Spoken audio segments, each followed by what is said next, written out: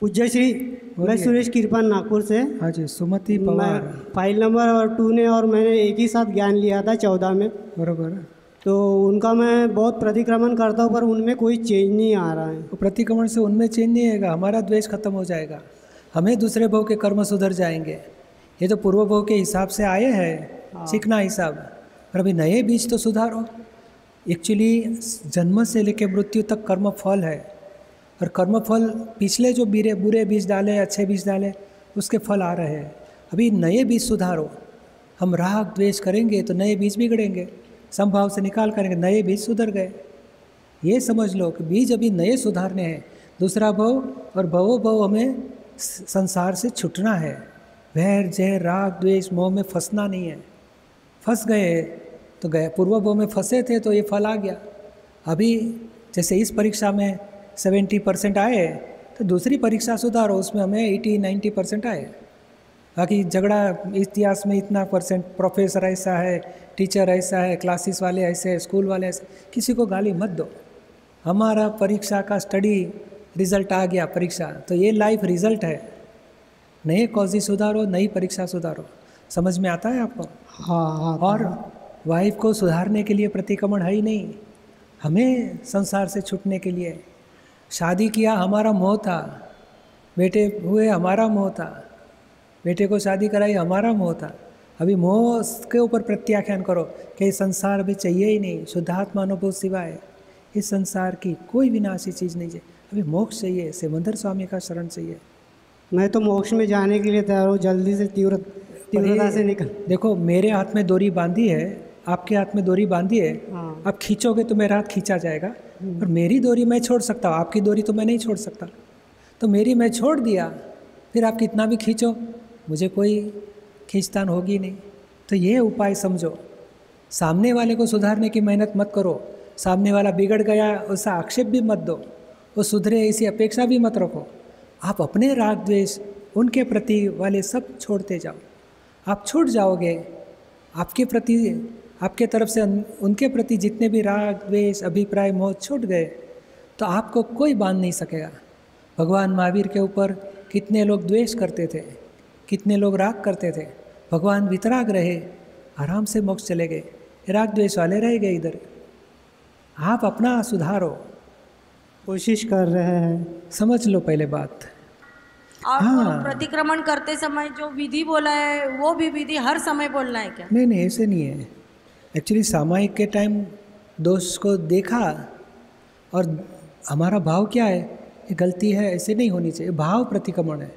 Detail में तो क्या है कि बहुत चिकना हिसाब होगा, बहुत स्टिकी फ़ाइल है तो फिर उसके प्रति प्रतिक्रमण सही तरीके से नहीं हो पाते और अतिक्रमण ज़्यादा हो जाते हैं। वहाँ डिटेल में जाओ, कि देहधारी, चंदू के मान, वचन काया, भाव कर्म, द्रव्य कर्म, नो कर्म से भिन्न ऐसे ही शुद्धात्मा तो क्योंकि हमें भाव ज़्यादा बिगड़ जाते वहाँ और जहाँ साधारण है वहाँ तो भाव प्रतिक्रमण है। और सामायिक में देख सामायिक में आप देखते हो तो प्रतिक्रमण डिटेल से करने की ज़रूरत नहीं है। सिर्फ़ गलत है ऐसा नहीं होना चाहिए। और साधारण भाव से प्रतिक्रमण है। और विधि हर समय बोलने की भी ज़रूरत नहीं है। भाव प्रतिक्रमण है। समझ में आया ना आपको? जय सत्यनारायण जय सच्चिदानंद। बोलिए। पूज्य श्री कोटि कोटि प्रणाम। जूतापन रखने के सामयिक में मैं और चंदूलाल अलग रहे। चंदूलाल क्या करते हैं, उसे मैं देखूँ और जानूं। यही मेरा काम। ये जो बताया है, तब कभी कभी चंदूलाल के मन में बुरे विचार आते हैं। तब उसे टोकना क्या? कृपया उदाहरण देकर बताएँ। टोकना यानी क्या है? कोई व्यक्ति के लिए बुरे विचार आते हैं तो उनको बोलने का प्रतिक्रमण करो, सुशीला को बोलने का। बाकी सामान्य विचार आते हैं तो देखने का। ये सुशीला के मन में क्या क्या विचार आते हैं? किसके साथ क्या वाणी निकलती है, किसके साथ क्या आचरण होता है। साधारण देखते रह गए। फ़ाइल वन चाय चा, जैसे मैकेनिकल पुतला है डॉल रहती है सेल डाल दिए। I am hungry I am sleepy तो हम देखते रहते कि सेल भरा हुआ पुतला चल रहा है, बोल रहा है। तो इसको भी देखना है। सिर्फ़ किसी को दुख पहुँचाया, ऐसे विचार, वाणी, आचरण, उसके प्रतिक्रमण कराएँगे।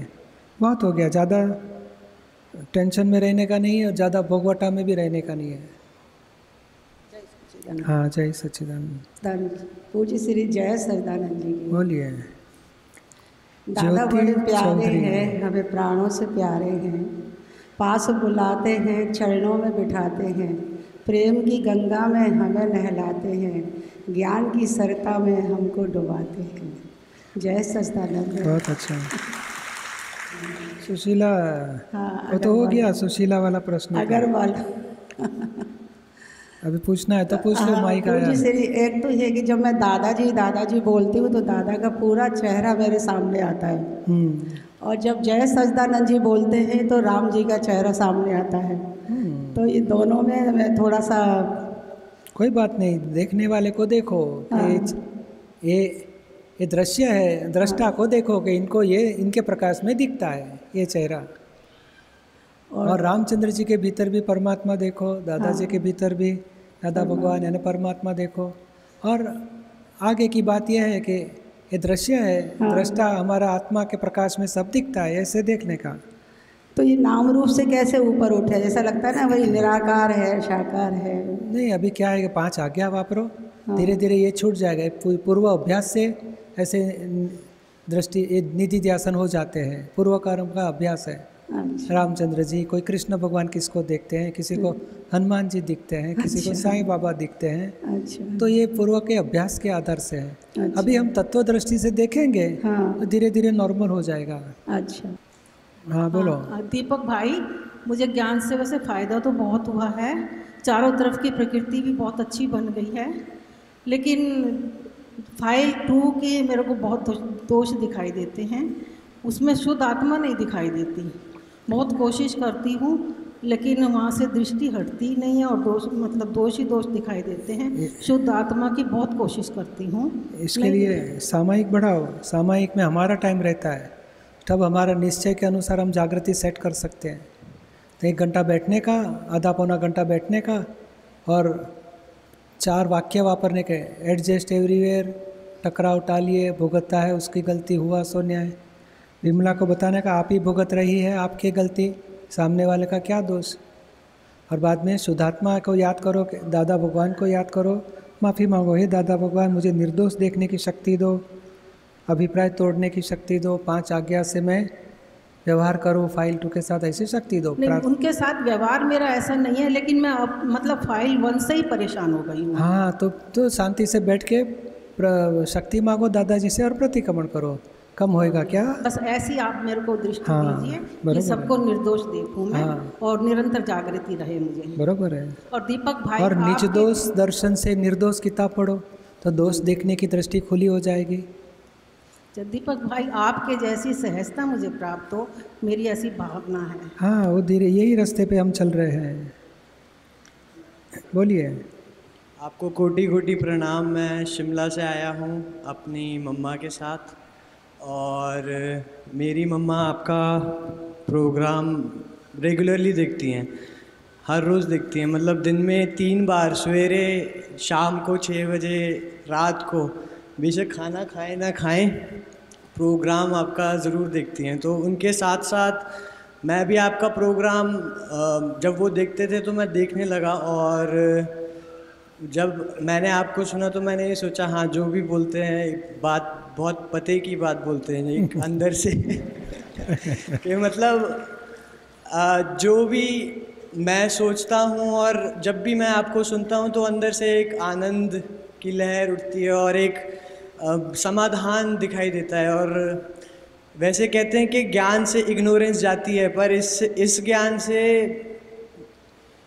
इस ज्ञान से जो एक इग्नोरेंस इग्नोर जो भी हौच पौच हो रहा है उसको इग्नोर करने की शक्ति मिलती है।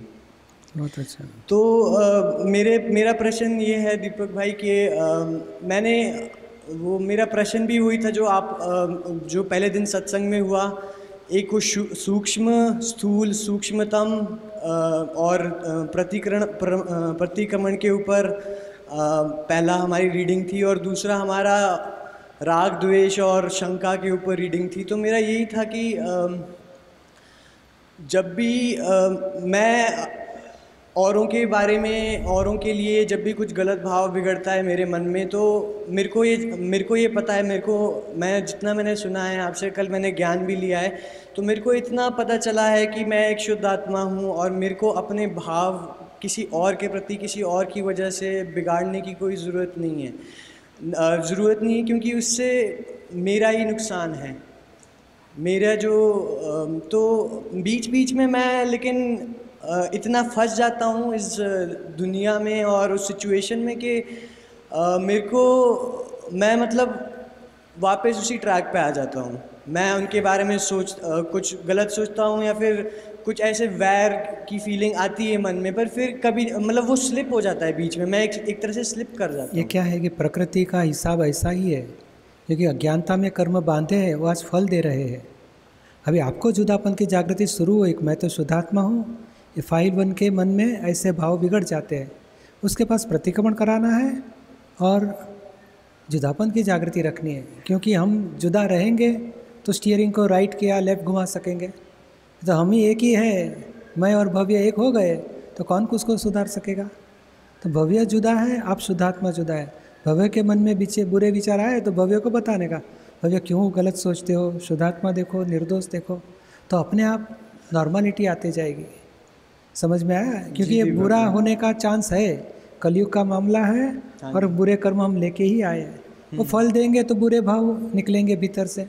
और हम जुदा रह के देखेंगे तो उसको प्रतिकोण से सुधार सकेंगे। दीपक भाई ये जो ज्ञान है वो एक तरह से आप बोलते हैं साइंटिफिक एकदम फॉर्मूला बेस्ड है। एक इधर है अगर इक्वल टू के इधर जो है वो उधर जाके इक्वल टू ही होगा। तो अ, मैं अगर अ, दूसरे प्रश्न भी पूछता हूँ मैं अगर आपकी कोई किसी भी बात से शुरू करता हूँ सोचना तो वो खुद ही खुद जवाब मिलता है। तो सच्ची बात यही है विज्ञान का इसका म, यही हमें समझना है कि धीरे धीरे इतना समझ लो कि आपको भीतर से ही जवाब मिलते रहे समाधान मिलते रहे और दोषों से मुक्ति मिलते रहे। समझ समझ समझ थोड़ा कर लिया एक दो साल बरोबर समझ लिया तो फिर आपका गाड़ी मुक्त के पट्टे पे फिर गाड़ी चलते रहेगी। दीपक भाई मैं अपनी मम्मी से बचपन से ही बहुत ज़्यादा अटैच्ड हूँ। मेरी सिर्फ़ मम्मी है मेरे साथ जो रहती हैं। तो इतना मतलब बचपन से इतना मोह है कि पर अब वो अलग बात है पर अब ये है कि मुझे भी आपके साथ आपकी फ़्लाइट बोर्ड करनी है मोक्ष मोक्ष हाँ, गति वाली। अभी क्या है कि मम्मी के प्रति मोह तोड़ना नहीं है पर मम्मी को दुख ना हो ऐसे व्यवहार में रहो। अपेक्षा पूरी ना हो गई तो दुख नहीं देना है। ऐसी जागृति रखेंगे। जय सच्चिदानंद। हाँ। जय सच्चिदानंद सरिता। पूज्य श्री मुझे अपना एक अनुभव सवाल का जवाब तो मिल ही गया है। बरोबर। पर मुझे एक अपना अनुभव सबके साथ शेयर करना है। हम्म। जैसे अ, अ, कि- फ़ाइल टू ने भी ज्ञान लिया है पर सरिता को कभी भी उसमें कोई भी दोष या अ, मतलब सब कुछ जैसा आप बताते हैं वह सब दिखाई देता है। कभी भी वो कुछ भी कहते हैं तो सब शुद्ध आत्मा दिखाई देती है और उसका नती मतलब ये आता है कि वो कुछ बोलते भी हैं ना गुस्से में तो वो सब पॉजिटिव निकलता है। जब मेरे मन में ये चल रहा होता है कि ये शुद्ध आत्मा है इनमें भरा हुआ माल निकल रहा है या जो भी कुछ है तो वो सब पॉजिटिव वो कितना भी गुस्सा करें सब पॉजिटिव निकलता है। तो और पूज्य श्री जब से मैंने ज्ञान लिया है धीरे धीरे आगे चल रही हूँ तो इतना आनंद जितना हम इस ज्ञान को अप्लाई करते हैं या जितना दूसरे में शुद्ध आत्मा देखते हैं उतना मतलब हमारे अंदर इतना आनंद आनंद आनंद कि उसको हम बता ही नहीं सकते। कोई शब्द ही नहीं है। बहुत अच्छा। आपको इतना आनंद होता है तो दादाजी निरुमा को दीपक भाई को कितना आनंद होता होगा?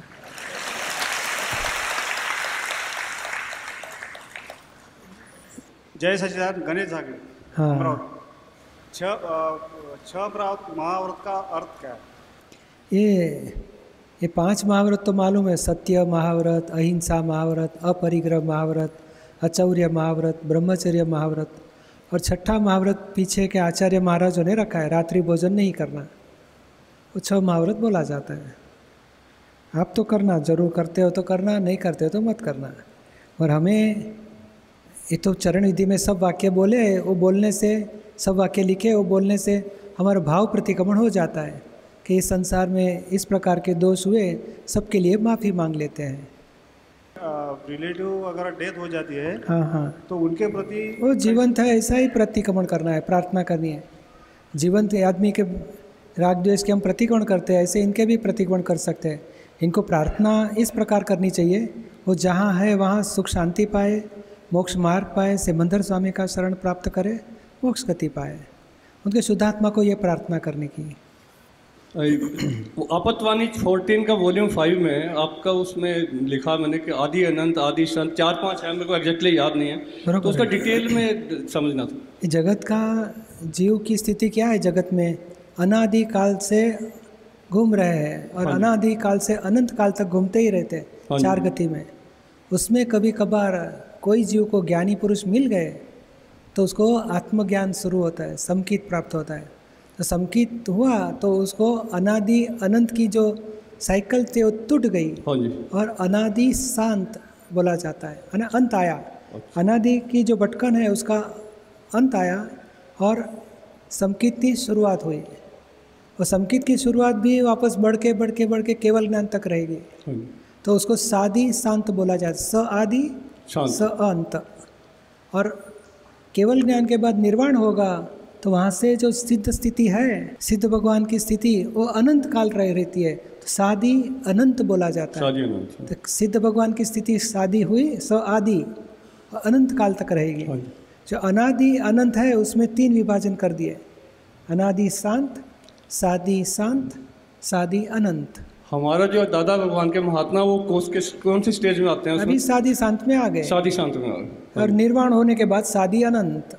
शादी शांत। एक और क्वेश्चन था आपका जो उसमें अपना आठ कर्म बताए हैं जो भाव कर्म द्रव्य कर्म में बताए हैं जो ज्ञानावर्ण मोहन ये सारे के सारे। उसमें पूरी किताब में वो मोमबत्ती का जो दिया मीन बत्ती का वो डिटेल में ज़रा समझा दीजिए। नहीं तो एग्ज़ाम्पल है कि हाँ मोमबत्ती जलती है। हाँ जी हाँ जी। ऐसे वो प्रकाश भी देगी मोम भी जलते रहेगा डोरी भी जलते रहती है। तो ये एग्ज़ाम्पल है। हाँ ये कर्म द्रव्य कर्म ऐसा है कि सिर्फ़ फल देता है। हाँ जी हाँ जी। प्रकट होता है फल देके खत्म होता है। हाँ जी। प्रकट होता है यानी जो संचित कर्म बोलते हैं हाँ जी। उसमें से प्रारब्ध उदय आएगा उतना एग्जॉस्ट हो जाएगा। हाँ जी। वापस नया उदय आएगा वो एग्जॉस्ट हो जाएगा। हाँ जी। ऐसे हमारे बैग में एक सौ सौ रुपये के हज़ार नोट है हम एक निकालेंगे वापरेंगे ख़त्म हो गई। दूसरी निकालेंगे वापरेंगे ख़त्म हो गई। ऐसे एक एक कर्म उदय में आता है फल देता है एग्जॉस्ट हो जाता है। हाँ तो ये समझने के लिए एग्ज़ाम्पल दिया वो पूरी किताब में ऐसा ही है ना मोमबत्ती का हाँ, पूरा का पूरा द्रव्य निकलता है हाँ, एक-एक कर्म- हाँ एक एक कर्म प्रकट होता है फल देता है हाँ चले जी। जाता है। द्रव्य साथ में बनता हाँ है। अभी उसमें जो अज्ञानता थी कि मैं ही आ, क्या नाम है अरविंद। मैं अरविंद हूँ और मैंने किया वो कर्ता भाव से कर्म हाँ बांधते थे वो आपका छूट गया। हाँ तो भाव कर्म उड़ गए द्रव्य कर्म फल देके चले जाएगा। सारी किताब में मोमबत्ती खत्म होती है किताब भी खत्म हो जाती है। पूरी किताब नहीं आयुष खत्म हो जाता है। ठीक है जय सच्चिदानंद। एग्ज़ाम्पल दिया है दादा। जय सच्चिदानंद। हाँ। मेरे माता पिता को मुझसे बहुत दुख है। वो लोग मुझे दुख में यह भी कहते हैं कि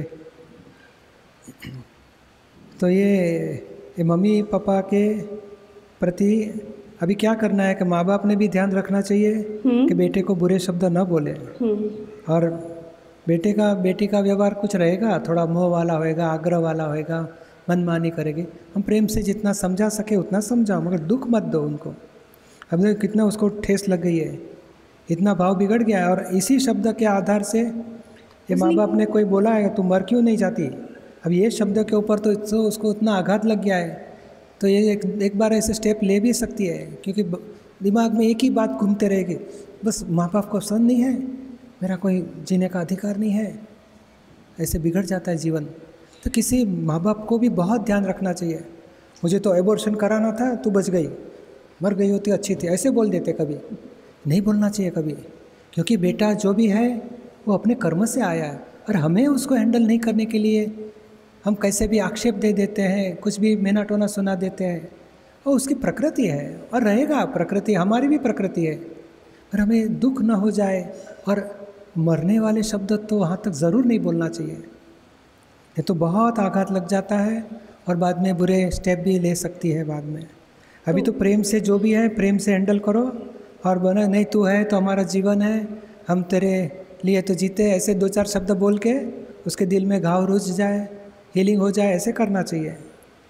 तो उसके प्रतिक्रमण करना चाहिए मुझे। प्रतिक्रमण भी करना चाहिए और दूसरी बार प्रेम से अच्छे शब्द बोलो तो उसको लगेगा पहले बोले थे वो ख़त्म हो गया। ये तो प्रेम बहुत बताते हैं मम्मी पापा नहीं ऐसे तो क्या होता है मैं हमेशा उसको बहुत प्यार से रखती हूँ बहुत प्यार से और एकदम बहुत ध्यान से रखती हूँ उसको कभी नहीं बोलती लेकिन बाई चांस कभी ऐसा हो जाता है कि बहुत पावर ऑफ़ हो जाता है तो बार। बोल जाती हूँ। एक ही बार स्विच को टच कर दिया शौक लगेगा। रोज़ तो हम अच्छी तरह वापरते थे।